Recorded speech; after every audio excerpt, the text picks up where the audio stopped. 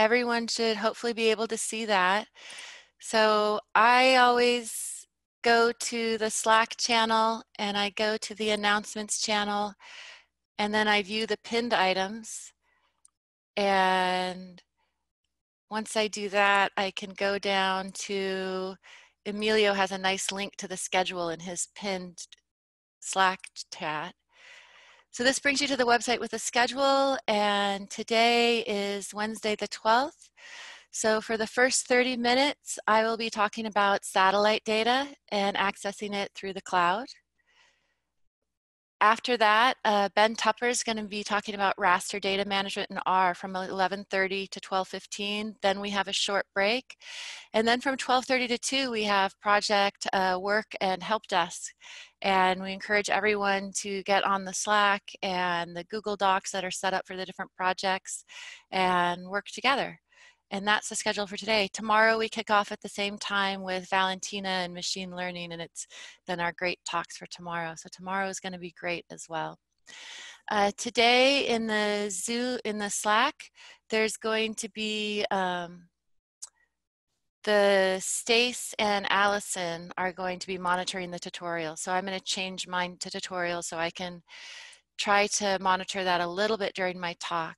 And when you have any questions or any comments about the tutorials as they're going on, please uh, just put them into tutorials and chat them as questions and they'll either be answered through the Slack channel or the I will try to take breaks and answer them as I'm speaking.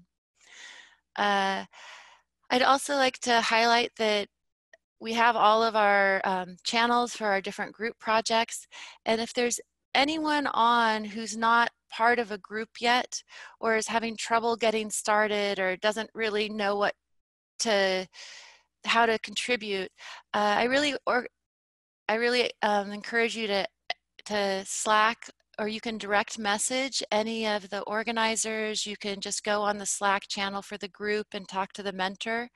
But we're really hoping that, you know, the spirit of Ocean Hack Week is that everyone work on some of these projects together. And it's a really great way to meet new people and see different types of coding. So if you're not already involved or you feel like you're struggling to get involved, please, this is a really good time to reach out because we still have a couple more days and some nice time to do the projects this afternoon. Uh, the next thing is I'm gonna start doing my tutorial now. Did I miss anything, Emilio, or is that everything? That sounded good. Okay, great. So to get to the tutorials, if you go to the Ocean Hack Week tutorials, so over here, you can go to your Ocean Hack Week tutorial. So I'm logged on to the Jupyter Hub now. And there's one called 10 Satellite Data Access. I think these were originally written in order and I was probably the last one to upload. So when you go into there, there's going to be some files, but the one that I'd like you all to open is called Access Cloud SST Data Examples. And that's the one that I have on the screen. I'd like to check that everybody can read my screen. Is that working out well for everyone? Great. And let me try and bring this over a little bit so I can see the chats. So accessing cloud satellite SST data, satellite data can be really difficult to work with because the volumes can be enormous. And sometimes even to get started, you want to download, you know, either hundreds of gigabytes or terabytes even of data. So working with ones that are deployed on the cloud can be really fast. Unfortunately, there's not a huge number of them deployed on the cloud yet, but within this next year a lot of them are going to be shown be start showing up. Both nasa and noaa and usgs are starting to really move data onto the cloud quite rapidly. So we're going to start seeing a lot more data now. This is just giving you an example of the, a few data sets for sea surface temperature, which is the area that I've worked in for quite a while and I feel more most comfortable with. So I'm going to be talking a little bit about that data and then showing you how to access it. So satellite data, one of the first things to know is that it really comes in four different flavors. There's level one, two, three, and four. And you'll see these referenced in the file names a lot or in the descriptions. And it's really hard when you first start using it to remember what is level one, what, what are these? So you can think of level one is probably data that you're not going to encounter that often. Level one are the raw satellite observations usually calibrated and they're in an orbit format most often. So each observation has a lat, a long, and a time, and usually a scan number and an orbit position and an orbit number. These are what are used to develop the geophysical retrievals that are then put, that more people are familiar with using. So the next level is level two, and that's where more of you would probably be uh, interested in accessing this type of data. These are derived geophysical retrievals like sea surface temperature or wind speed or cloud you know, or water vapor. These are still in an orbit or in their original projection that they were collected in. And so each observation is going to have a lat long time and a lot of other information about the sensor attached to it. These are really useful when you're trying to do studies where you want tight time and space collocations, or if you're looking in gradients in fields and looking for differences, because there's no remapping, this can be a really powerful tool for analysis. The level three variables are then essentially when you take the level two and you map them to a grid. So these are uniform time and space grid, which make them much easier to deal with. It's similar to dealing with the level four data, which is then sort of either an analysis of the data or a model output. Like most level four are sort of gap-free analyses and can include multiple sensors. So these are all, when you see those names bandied about, that's what they're talking about. These data come mostly in NetCDF, HDF5, and GeoTIFF. There's some newer formats called Zarr and Cloud Optimized GeoTIFF. Here we're going to be showing you how to access sort of NetCDF, HDF5, and Zarr from the cloud.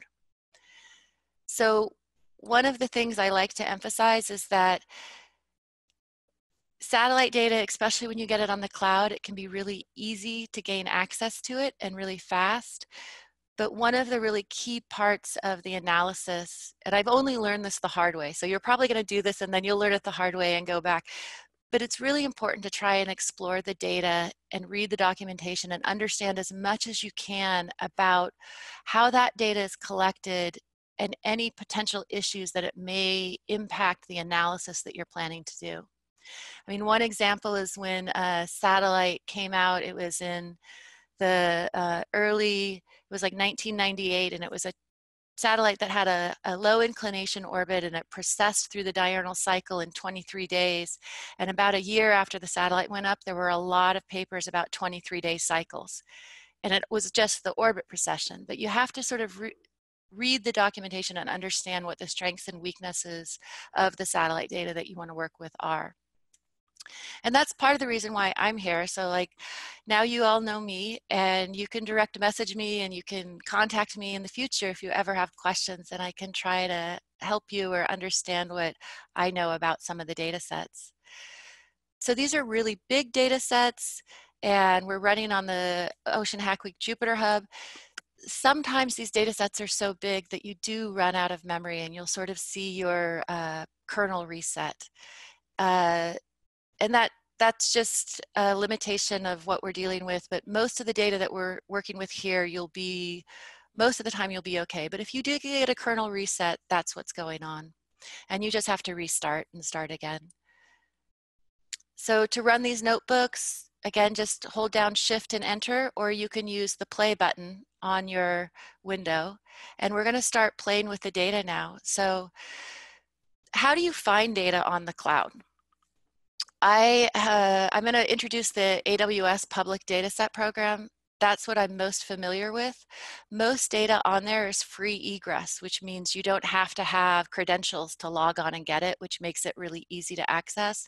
There are one or two data sets on there, mostly SAR, that do have a requester pays so that you would have to have an account. I avoid those. So to get to the public data set, you can click in that window and it's going to bring you to the open data on AWS. To find data set, you just go to publicly find the data set and we're going to look at the MUR SST. And you can also just scroll through all the data that you want. So here's the MUR right here. I'm gonna click on this. And this is an example of what you're sort of faced with when you first get to a cloud data set. And it has a description and some licenses and some information. And it's really nice because there's almost always a contact. So if you run into questions, you can have the contact. And sometimes there's tutorials. I've generally found most of the tutorials somewhat inscrutable, except for, of course, the one that I wrote here, which is really well done. Uh, but a lot of the tutorials are can I, I had trouble reading. And when I got to this web page, I'm looking at this and I'm like, what is an ARN and S3 and MUR SST, and I don't even know where to start and how to read this data. So I'm going to show you how to do that. And one thing that's important is that it also gives the AWS region. If you have the option to read from a Jupyter Hub that's in the same region, it will be much faster than in a different region. It'll still be fast if you're in a different region, but it's, it's quite a bit faster if you're in the same region. So going back to here, for those of you who maybe didn't have access to the web, I put just a screenshot of this showing you sort of the ARN. Now, MUR SST is a Zarr data set, which makes it particularly easy to work with. And uh, this is in an S3 bucket. So that's the blob storage from AWS. So we're going to be reading this Zarr data. And the reason that Zarr is so fast and easy is it consolidates all the metadata. Ah, what is Zarr? So there's a link to Zarr here that you can click on. Zarr is a format that is optimized for cloud. It's used heavily in Xarray and you can it's been used a lot also by the Pangeo group. What it does is when you read a netcdf file, the metadatas are sprinkled throughout the file. So when you start to have thousands and thousands of files, accessing the data is going to be quite slow. And we're actually going to show an example of that next. With Zarr, uh, yeah, and so Amazon, uh, the Ocean Hack Week is in Amazon West too. So this is going to be fast with the Zarr.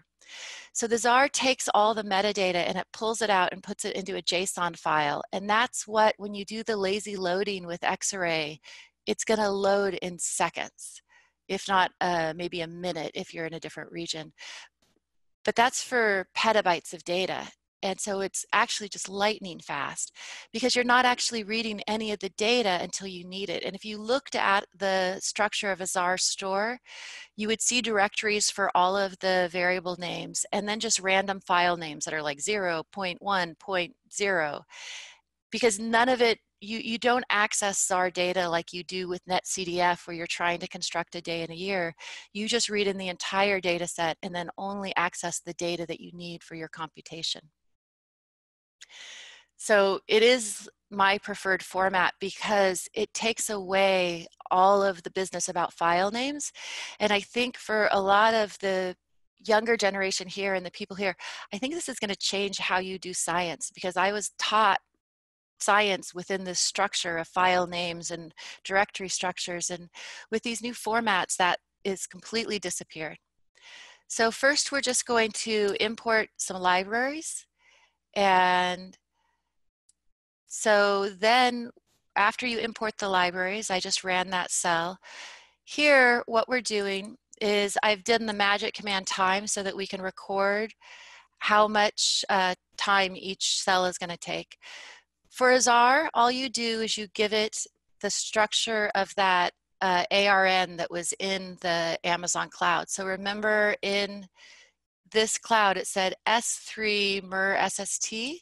So the way that you actually call the data set is a little bit different. You just say S3 MUR SS3 MUR SST Zarr. You then create a mapping to that S3 bucket using the library fsspec. And then you simply read in the data. So I'm going to execute that cell. Yeah, so there's a question about whether or not it's worth converting large NetCDF model data sets into Zarr. So I'm working on that right now with the ERA5 data. The ERA5 data, it takes a couple minutes to read in one year of data. It's really flaky because it constantly runs out of memory and dies. And it takes uh, several hours to read in 1979 through present. When I convert it into a Zarr, it takes about one second to read in, and it's a much more stable because it uses much less RAM. It's just only accessing data when it needs it. So, especially for model output, Zarr is a really powerful format. So this took 29 seconds. Uh, you now have access to let's look at this. So we're exploring this using the Xarray. This is a global one kilometer data set that goes from 2002 to 2020. I think it's about three terabytes. So you've just read in the entire global one kilometer data set in a few seconds. And you can see the data variables here. There's SST, errors, there's a mask, and there's sea ice fraction. And you can explore these data sets, of course, by clicking on any of these and it's going to show you more information. So when you first get a data set, I spend a lot of time reading all that I can in the metadata to understand like, okay, here's a mask that I can apply that tells me when it's land, when it's lake, when it's open sea. Hey, Chelle. yeah? Sorry to jump in. Is there, is it possible to maximize your browser window I think that um, we're seeing multiple windows from our perspective. Or maximize the window in which you're displaying the Jupyter Hub. Is that better? Yeah. Oh, thank you. Sorry. Okay, so this is uh, reading 10 years of data at one point. What I've done is I'm selecting an analysis SST and using the Xarray select to do a time slice. I'm just picking a latitude and longitude, and then I'm plotting the data. So this, in one second now, I can plot 10 years in a time series. And when you're starting to do data exploration, having access through Zarr just makes this so fast. It's a lot easier to understand your data and to start exploring it. And this is how I do a lot of my science is I just sit there and play with the data until I understand it and I try to plot it in a million different ways. And that's why these cloud deployed Zarrs can be really nice. So I'm actually gonna plot the anomaly now. I'm creating a climatology on the fly I'm calculating the anomaly and then plotting it. I'm also averaging it into a monthly average and plotting that on top of it. And this is all using the Xarray group by and resample commands. One thing I want to point out about Xarray is when you take the mean, there are these options and it's really helpful it took me a long time to learn this, but it's really helpful to read the documentation. So I, I, tell you to read the satellite documentation for the satellite data, but it's actually also good to read the documentation for the different Xarray commands. One of the things that I really like about mean is that you can say what dimension you want to take the mean in, whether it's lat, long, time, and you can group them together in a dictionary to do over multiple dimensions. And the next thing is this keep attrs true. So this, if you're, especially if you're gonna output a data set, you can keep all the metadata. And this is the other skip nah. So this skips a not a number. If you have this set to false, it means that wherever there's not a number, even if in the time series, it will still create a value there. But for SST, you really don't want that because usually when there's a missing value, it's where sea ice is, and you don't want to create climatologies that only have a couple data points in them. So a lot of times when I'm dealing with this type of data, I put it to false. And here's the plot that it creates. And again, it just does this really fast. This would be, you know, if if I was programming in Fortran or MATLAB, this would be several days of going through each NetCDF file and creating a climatology and then going through it all again to produce a plot like this. I'm going to show you a very high latitude time series. So this is the Chukchi Sea. And again, this is why I sort of advocate exploring your data. So what's going on here? So we haven't applied any masks to the data. And so the MUR SST has a valid data point everywhere, even in regions where there's ice. But at these high latitudes in the winter, there's often ice cover. And so the sea surface temperature is set to minus 1.6. So if you were to take this data set and start looking at, you know, annual cycles or doing climatologies without applying a mask to remove data with sea ice or maybe in lakes, whatever your interest is, it's important to try to try and understand what's going on in these regions and to explore the data and read the metadata as much as you can so that you understand when this is looking right and when it's not looking right. The other thing I wanted to point out is I'm going to plot both of these. The grid resolution that many level four satellite data products or level three are gridded at isn't necessarily related to the spatial resolution of the data. So you can grid data at whatever grid you want, but there's going to be an inherent spatial resolution to that observation. So a lot of level four analyses like the MUR and many of the other level four, they rely on both infrared, which is one to four kilometer, and passive microwave, which is 50 kilometer data. And the data availability is going to determine these regional temporal changes in spatial resolution. So if you're looking to do frontal analysis or gradient analysis, this is something that you're going to want to be aware of. And I'm going to show an example here. I've just plotted the same region for two different days. This is SST and for any of you, this is San Francisco Bay, and for any of you familiar in that area, it looks a little blurry. There, there's much stronger gradients in the ocean temperature in this area.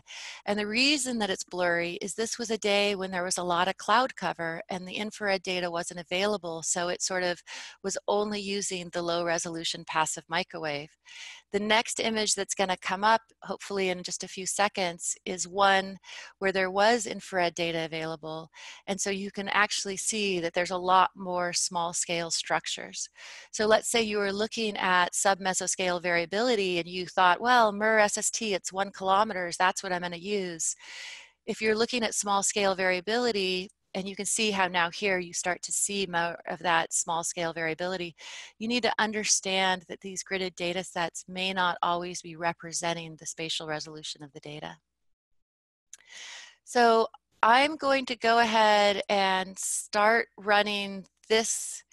Um, the next one that we're going to do is uh, the geostationary data. And I'm going to skip this, but you basically go through the same steps to find the public data set. And this time it has the same sort of ARN, which is just NOAA GOES SST. This is a NetCDF file. And so what I've done here is that there's several links. Uh, this has the information about the GOES data. There's 80 different products, everything from sea surface temperature to clouds and water vapor and fire products. So there's 80 different products that you can look at and there's information on those products in that link. I find it really helpful with these type of data sets to understand and explore the S3 structure. And I've put a link here that shows you how to use HTTPS to do that. When you click on this, it actually brings you to an interface that you can click around. You can see all 80 products and you can start to see how the data is organized. And you're going to need to do this because it's all in these small NetCDF files. Well, they're not that small uh, because that's how you're going to read the data. You can't read it all in one line like you do with Zarr. You're going to have to go through and read and access each file. I've written a subroutine here that reads all the different geostationary data and I put it into a subroutine. So I'm going to go ahead and run through this and I'm going to start this cell running because this is going to take a little while. What this subroutine does is it given a satellite a year and a day and the satellites there's three different geostationary satellites that have their data in the cloud. It then creates a file location. And so first what I have to do is I actually have to list, given that S3 bucket, and that I want the SST directory, I have to then build a list that says, okay, in this year and in this day, there's then a couple more directories and I'm gonna look for the NetCDF files. So I create a file structure and I link, I, I'm listing the files using fsglob. Once I have those file locations, I then create links to them using fsopen. And this creates a link to the S3 blob storage, and I can then use the Xarray OpenMF dataset to open all the files in a single day. I combine nested and I'm concatenating along the time dimension. So what I should end up with is every netcdf file for each hour, they're hourly files in this directory. So I'm gonna have a X and a Y and a time dimension. The data is really messy for the GOES and uh, Phoebe is one of our uh, projects has worked on cleaning that up. So I will be updating this notebook with her code that's gonna clean the data up a little bit. So it's still thinking it takes about three minutes actually to open up a day of GOES data. And this again is because of this netcdf structure. So we're probably gonna just get to the point where we're ending this tutorial right when we finally get the data read because this takes so long. This is just for one day. And so another, uh, one of our group projects has been uh, Patrick has been working on putting some days into Zarr store. And the difference between it takes about three minutes to read one day of GOES data, it takes a few microseconds to read it once we put it into Zarr. Unfortunately, we're just going to do a few days because it's big data. The geo data that you have access to through this subroutine that goes east and west, which is the east coast of the United States and the west coast of the United States. But it's equatorial, so they're centered on the equator and it extends up to almost 60 degrees north and 60 degrees south. So you actually have quite a bit of South America as well. Those data um, are available in this X and Y. So it's the original projection that the geostationary data is collected in. It's not a regular grid. So you have to, if you wanted to do it with a latitude and longitude, you would have to transform that grid into a regular gridded product.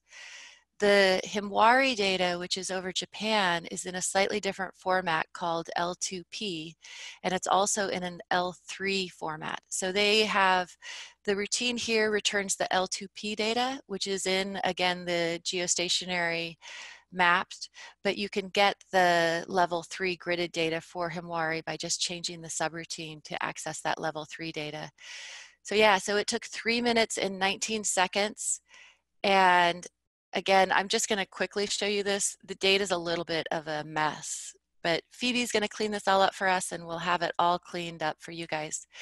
The next step is we're going to plot just a single day. Because X, we're just taking a subset because it is quite a big data set. It's at one kilometer. And so it takes a while to, plot, to subset it. So what we're doing here is we're subsetting it. Then we're using the Xarray where command to only use the highest quality sea surface temperature pixels. And then we're just going to plot for time 14 and then we just plot it with a color map. And it's in Kelvin, so here we go. So now we have access to a day of data. This is really powerful to me because the GOES data is, I believe, 120 gigabytes per day of data. And when you start to look, the sea surface temperatures are just beautiful and you can start to really see the submesoscale structure and start to do science with this. But when accessing the data requires weeks of downloading, it just becomes prohibitive. So now you guys all know how to access this. Further along in the tutorial, I show you how to do the Himawari, and then I look a little bit at the ERA5 data, and I'll just leave those for you to do on your own. I hope this was helpful and it's 11.30, so maybe we have time for a couple of questions, but I'm gonna hand it off to Nick now. And feel free to DM me with additional questions, and uh, I'm happy to answer. So thank you. Well, before I transition, Sophie, were there any other questions on Slack?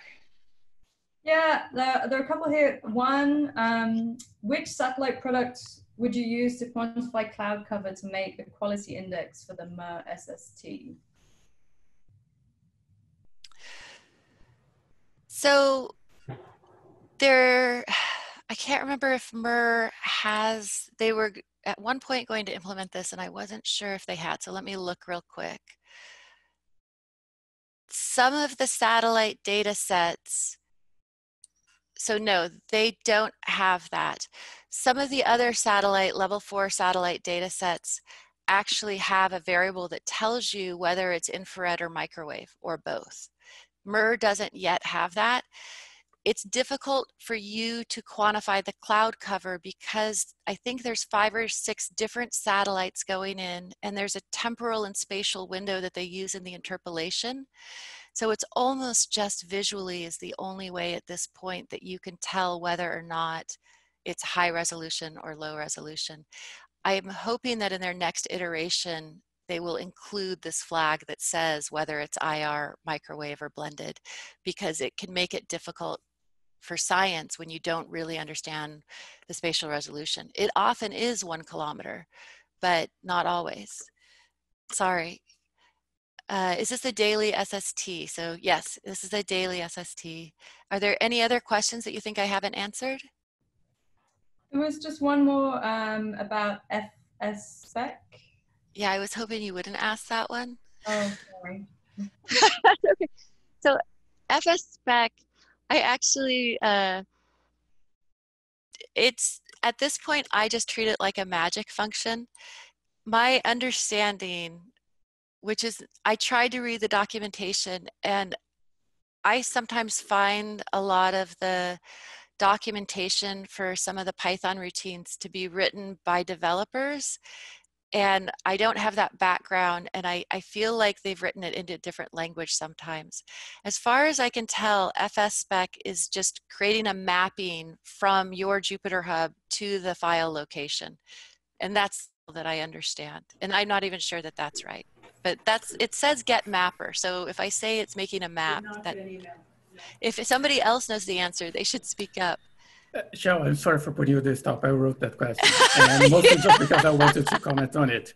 It's an abstraction for file for um, file system format. So regardless where the data lives, S3, HTTP, or whatever, all the comments that you expect on a file system will work. Oh, great. But, so if this was HTTPS, I could still call this and then do the XR command. Yeah, exactly. Great. Thank you, Felipe. I should have known. I should have seen it was you. Is there a straightforward to way to convert?